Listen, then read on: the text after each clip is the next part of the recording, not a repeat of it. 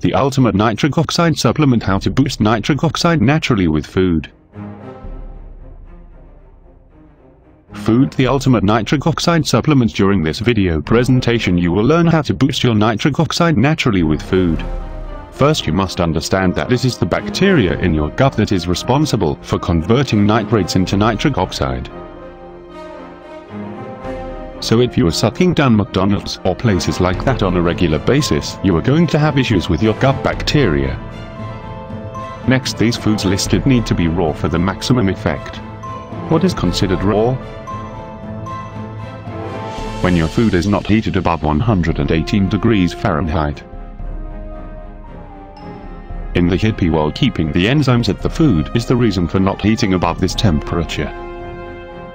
Here is the nitrate content of various foods. High on the list with over 250 milligrams per 100 grams of fresh weight.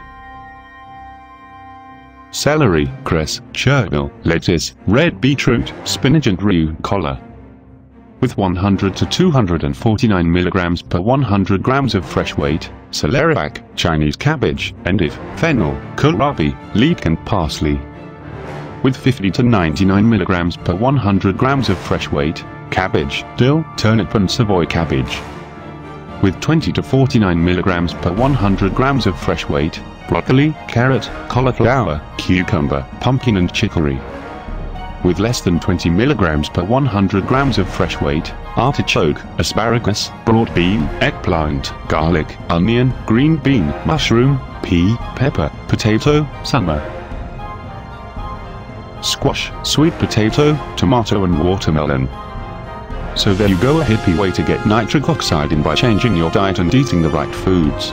It helps your jock side by reducing recovery time. What athlete would not benefit from getting more oxygen and nutrients in their bloodstream? Links are in the description. Thanks for watching.